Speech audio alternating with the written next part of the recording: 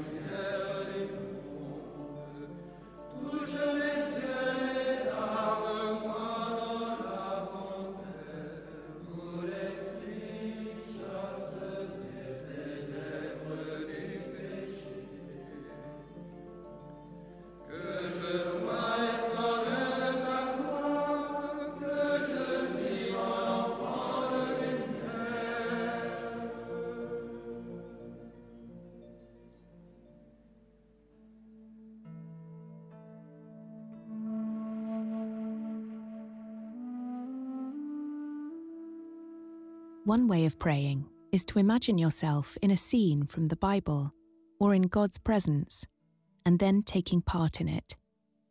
It is a way of allowing God to speak to you through your imagination. Today, you will be guided through an imaginative contemplation exercise. So, how do you imagine the scene as you hear today's reading from the Gospel of Luke?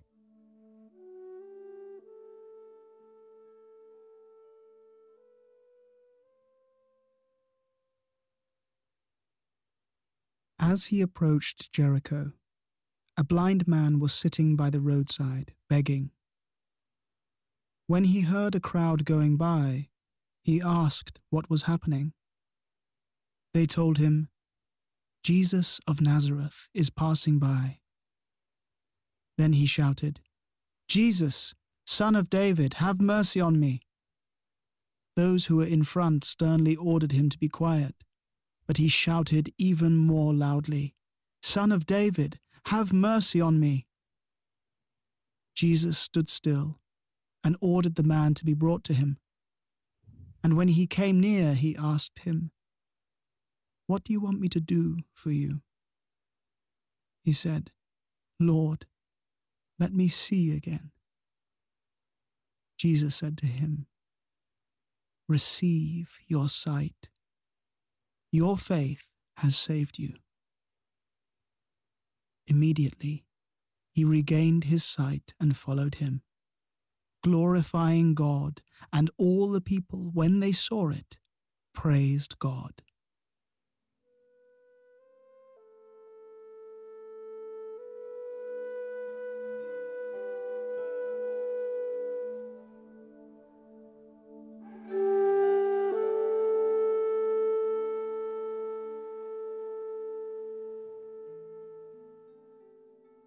Jesus is approaching Jericho with his disciples and a large crowd. Who are you in the scene? A disciple? A member of the crowd? Or perhaps the blind man himself? What can you hear? The sounds of those around you in the crowd?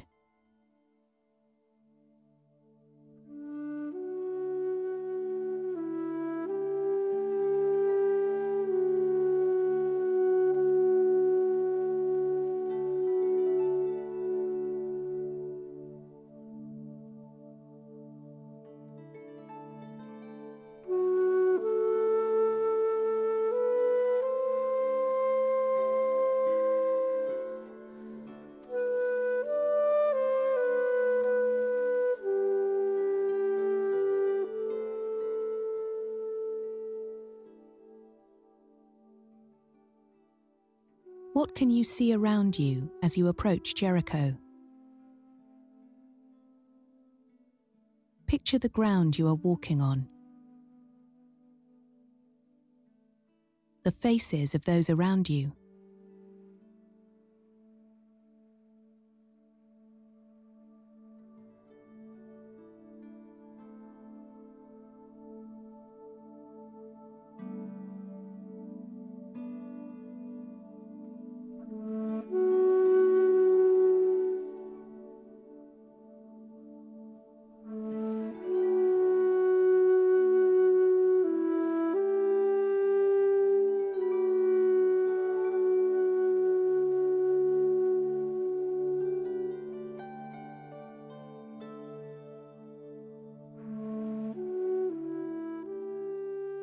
When the blind beggar hears that Jesus is so near, in his pain and suffering, he cries out to Jesus. How do you experience this cry? Can you hear it easily over the sound of the crowd?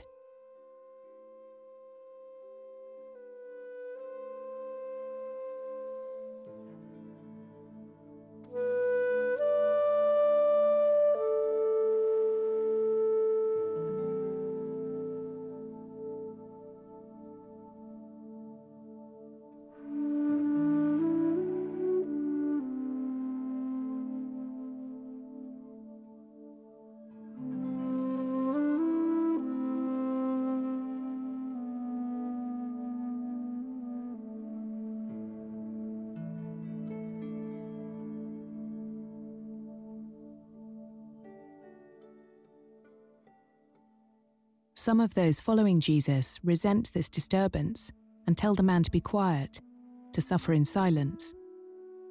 But imagine the moment that the blind man's cries stop Jesus in his tracks, and he tells the crowd to minister to this blind man by calling him over. How does Jesus do this? Notice his gestures, the tone of his voice.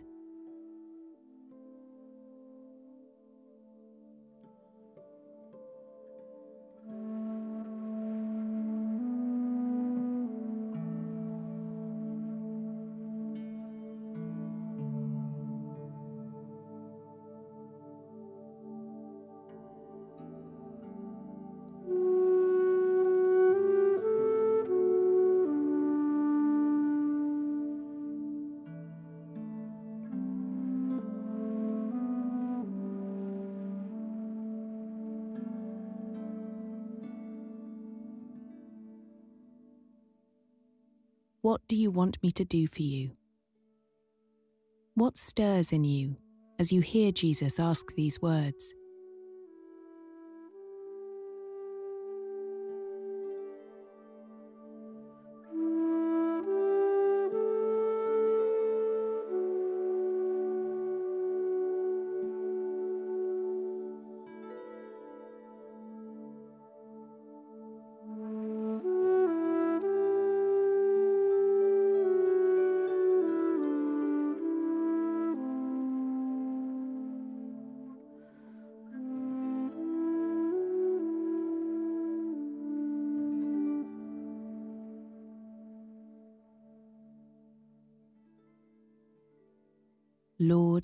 Let me see again.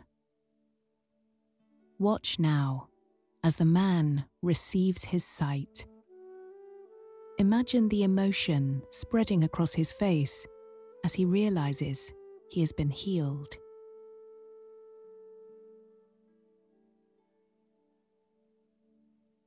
The blind man uses his new sight to follow Jesus along the road the blind man believed in a God who pays attention. Why bother screaming if you believe no one is there to pay attention? The blind man focuses on Jesus, and Jesus saw him. Where is your focus today? What do you want Jesus to do for you? Turn your eyes on Jesus now. You might like to talk to him as one friend speaks to another. Or you might even want to cry out to him today, as the blind man.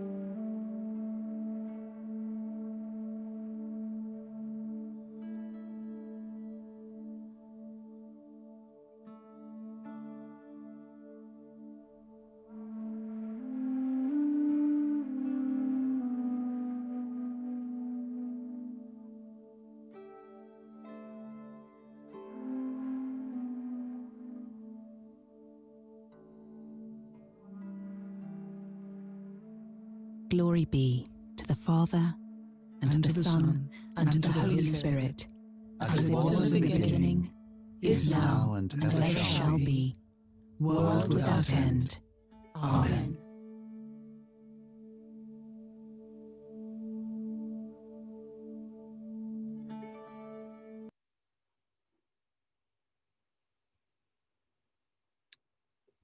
So that's how I begin my morning.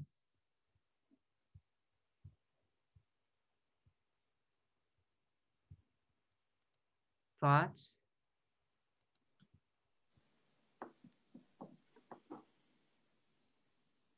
Nancy, do they always have you go into a like a, a reading and put yourself into it? That's that's the structure every day.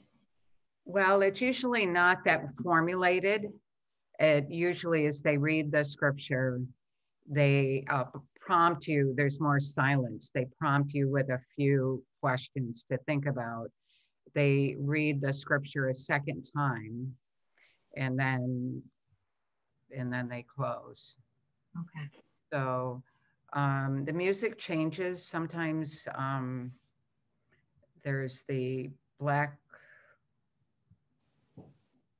Mambazo, something I can't think of the name of the group, but anyway, an African group, classical music, the Mhm. fluty kind of stuff. You know, it's a little bit of everything in terms of the beginning music, but I find it sort of quiets me down. And then you're reading a small amount of scripture every day and I don't have, I open my iPad, I push the button. I don't need two books. I don't need any of that. so I don't know. So it seemed like something you might try or Nancy, I- is it, is it, oh, I'm sorry, Kitty, go ahead. Well, I was just going to say, um, I found myself not thinking about the process at all. I got so involved in the in the imaginative part because I enjoy that that whole thing very much, and so I closed my eyes and was into it all the way through. You know, so uh, I didn't think about the process. so I don't have any comments on the process. right. anyway, Rob, you were going to say something? I'm going to sneeze, I think. Okay. Gesundheit. Yeah, I know, right? It's that I could, I, I, I could, I could feel it start, and then I knew as it started that Nancy was going to ask me if I wanted to say something at that moment. so no, I'm okay now. I fought it off. Um, what was I going to say? Oh, is it an is it an app? Can you download? Um, it, it, so it's downloadable. So you, I mean, I can put this on my phone and take the dog for a walk or something, right? Absolutely. Yeah. Yeah. See, I like that idea. I used to listen to um, morning prayer, a morning prayer podcast. It was from a priest in, um, I, I, don't know, Maryland or something. He, um, one of those other states, um, and he, um, uh, and so he read morning prayer, uh, you know, just right through for the prayer. I mean, according to the prayer book. Um, but it's the same thing. It had some cheesy music in the background. Um, at times and and he went through different that was really nice and it was about 30 minutes so it was good for you know if you're taking a walk or something it was good to um good to listen to so i was just curious because that feels like that's a nice way to kind of start yeah just start start the day um Yep. So the app is pray as you go pray as you go dot com dot org dot org. Yeah, and they're Jesuits. Um, you know, there was a time when I first Don't hold joined that against them. The Episcopal Church that I worried because I wasn't reading the right scripture. Um, because while we match up on Sunday, we don't match up during the week. And so I was thinking, oh, I'm reading different scripture. That's not good. I'm not a good Episcopalian. But then uh, it came to me that uh, God doesn't really care. so, I think he forgives you. Yep. yeah, yeah. I think whatever you're doing in terms of prayer is probably good with him. So anyway, so that's my first one. The second one I wanted to share is from the Society of St. John the Evangelist. And I think I've said this to you before, but they uh, they created um, kind of a mission for themselves to create Lenten meditations on the internet. And um, so each year they do a six week program on something. And the beauty of them is that they keep all of their older programs online. So you can go back and look at um, and actually do things that they've done in prior years. So I've gone through a bunch. Um, the beauty of these guys is it's about three minutes, which is maybe the right amount of time for some people. and um, and so they have a theme. You can choose whatever uh, sort of course, if you will, you want to look at, and um, and you can sign up. So they send you an email every day, and you click on that email, and it takes you to a little video of one of the brothers talking about whatever the topic of the day is. And the thing I really like about it is they always leave you with a question that um, that I can kind of think about throughout the day. So, so let me show you that. I'll show you the website, and then uh, we'll just listen to one three-minute thing. So here's their web website. It's ssje.org. Um, I highly recommend they do Compline services. And I know we're probably competing with what Rob is doing, but um, they're very nice services. There's sort of a, we scroll through, there's news, Emery House is their retreat center. Um, they also do something called Word of the Day, so you can get an email from them, and it's something to think about. Uh, they have their sermons online. And as we scroll down, now we get to the section of these six week programs. So I discovered these guys because I wanted to do a rule of life. So this growing a rule of life, the green one, I don't know if you see my cursor moving, but um, the growing a rule of life, uh, I did with a couple of people, and it was actually a great program one of the beauties of these guys is they work with Virginia Theological Seminary to set up workbooks for each of these courses.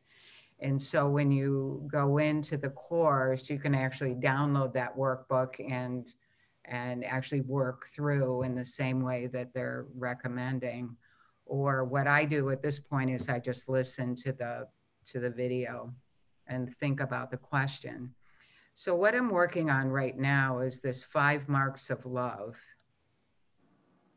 So you click on that and you come to a screen. Each of these is set up the same.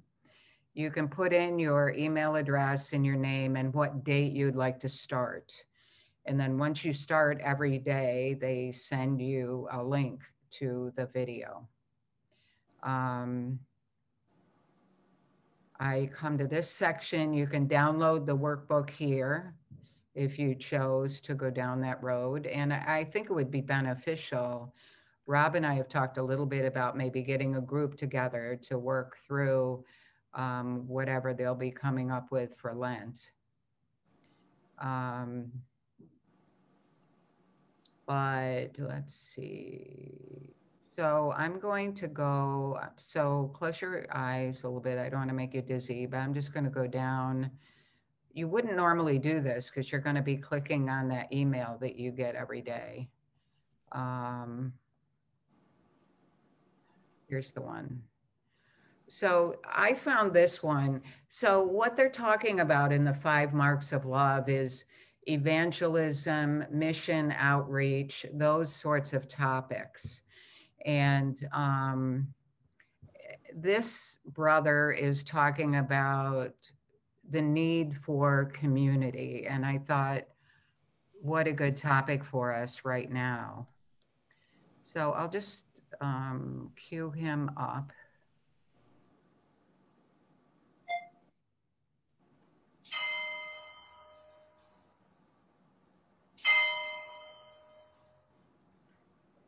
We cannot do this alone. You cannot do this alone. We need one another. Uh, the metaphor that's used in the epistles uh, about our being followers of Jesus is that we're members of a body. Uh, the fact that not everyone is a head, or not everyone is a heart, or not everyone is a foot, or uh, or a kidney doesn't mean that they're not essential. We all need one another, and we belong to one another. And so, when the disciples asked Jesus how to pray, Jesus uh, leaves us with what we call the Lord's Prayer, and you know it's it's plural. Uh, our Father who art in heaven, give us, forgive us. It's presuming that we belong to one another, that we are partnered with one another, uh, that we need one another. This is easier to imagine with some people uh, than with others. And yet, I think what is oftentimes true is that what could appear to us uh, as a stain on someone else, uh, something that we might find uh, repelling or might what might elicit our judgment is probably not not a stain. It's probably a scar that they have uh, that they've won well, and that we would be greatly moved if we learned more about them, um, more about people whom we find are different, maybe uh, maybe even repelling. Uh, there's a, a, fascinating word that's used in the letter to the Hebrews. Uh, and that is uh, the word for the love of strangers, philoxenia. Uh, it's exactly the opposite of xenophobia, which is being afraid of strangers or put off by strangers. The letter to the Hebrews uh, says this reminder to love the brothers or sisters and do not forget the stranger, because there's no strangers to Jesus. My suggestion to you is to reflect on why is it that you are a follower of Jesus, what is at the core of the gospel for you? Remember, gospel is good news. So, what is good? What is good that is compelling and is transformative in your life? And then what is news? News is different than olds. What is, what is news? How is God uh, coming to you, meeting you, inviting you, serving you serving through you to others. Uh, if someone were to ask you, uh, what is the core of the gospel? Could you give them an answer in, let's say, three sentences, uh, which would be demonstrated both by your lips, what you say, and by your life, what you do?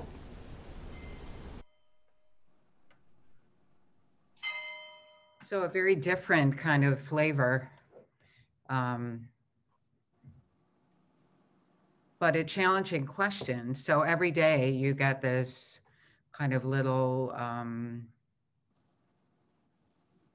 set of thoughts and and then you're left with this question that can kind of come up for you throughout the day so there's something about the bell ringing in the front and the back of that vi- that video as well that reminds me of sunday morning i think there's just something comforting for me about that whole whole uh, package.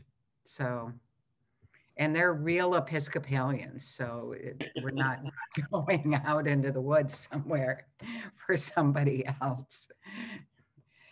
So that's the second thing I listen to in the morning, and then I and then I do something else. But um, it, when I first get up in the morning, I guess I'm not that motivated and but I like to do it first thing because otherwise I start working on things and the day's gone by and I haven't done anything.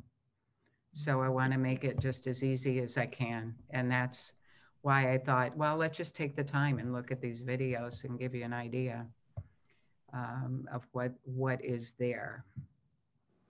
So I have a couple other things on uh, the slides.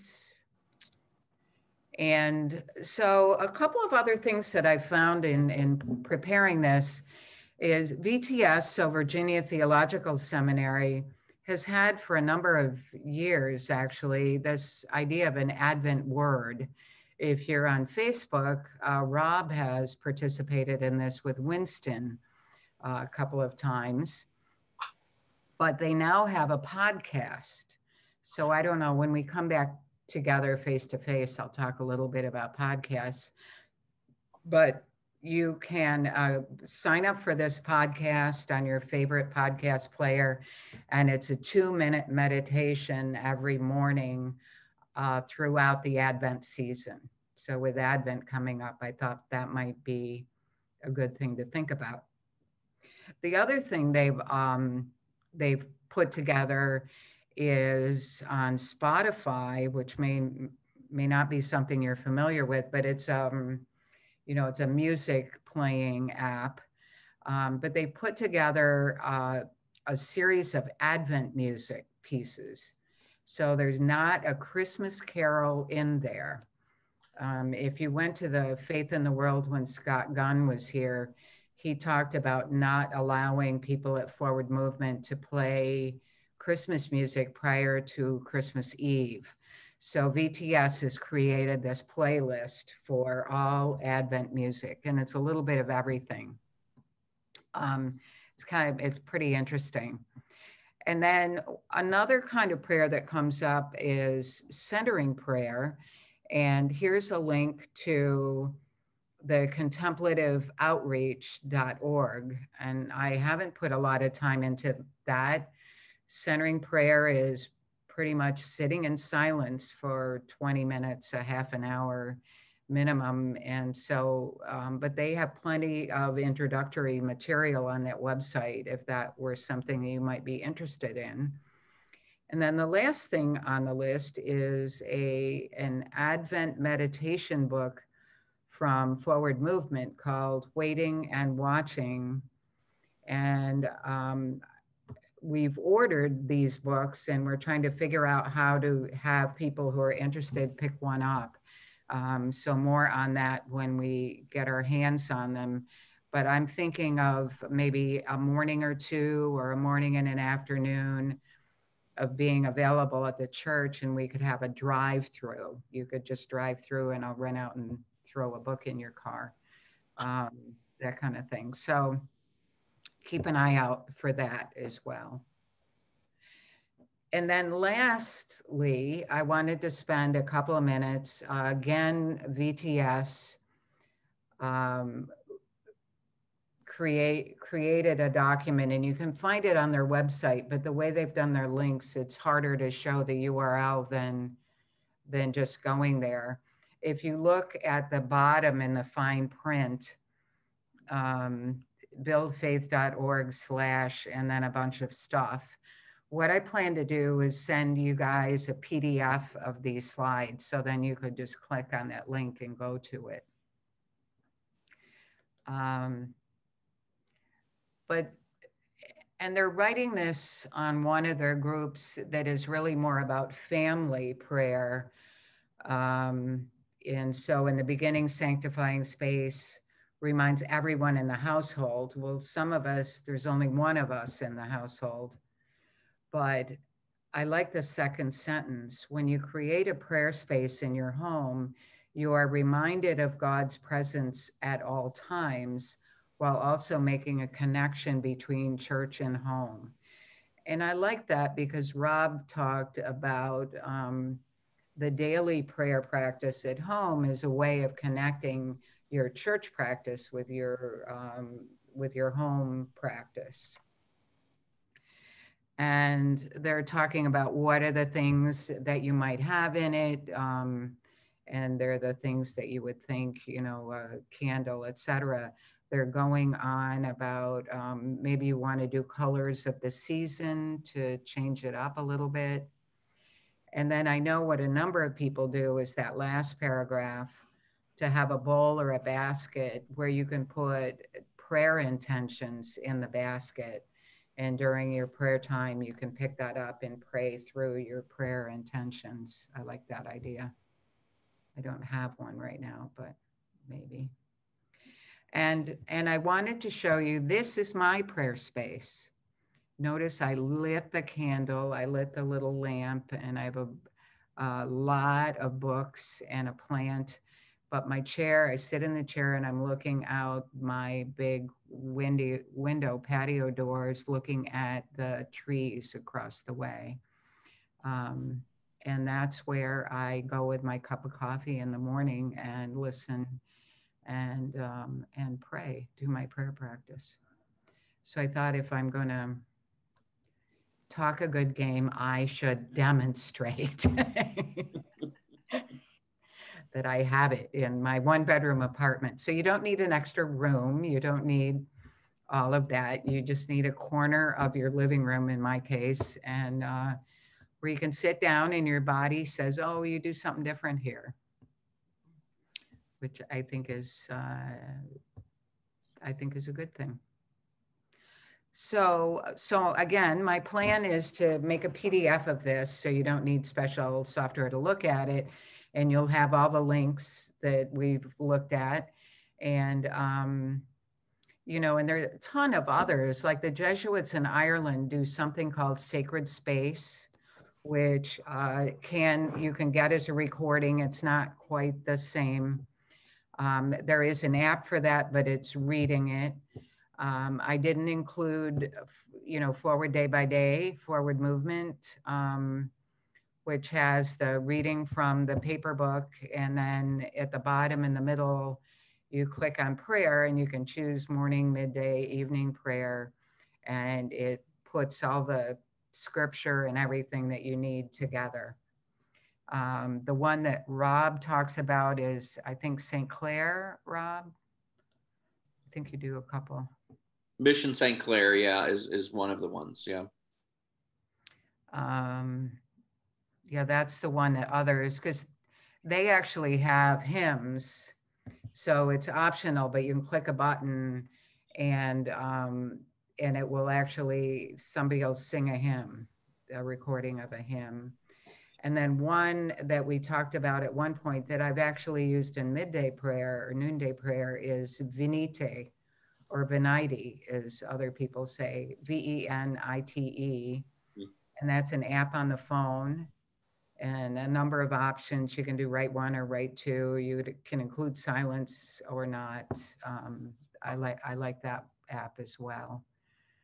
Uh, so, so my point in all this is you can make it be easy it isn't something that you need to um, get a thousand books and have to look everything up and figure it all out. There are things that can kind of get you into the idea of doing a daily prayer practice that are um, that are so straightforward you really can't argue. It takes too much time. and I think it's like any, you know, all of the research on habit building says start with something really tiny, tiny habits. BJ Fogg, F O G G, uh, did a lot of research on how do you build new habits, and you build them by linking them to something else, like making my coffee, and uh, and then doing something very simple that you add to that, listening to a, an, a video. So then on another day, we should talk about podcasts. Hmm. And uh, I'll just go send that email now. So, Sounds good. Thanks, Nancy. Thank you, Nancy. night, everyone. Thank you, Rob. all right. Right all. Thanks, Nancy. Sorry it was late.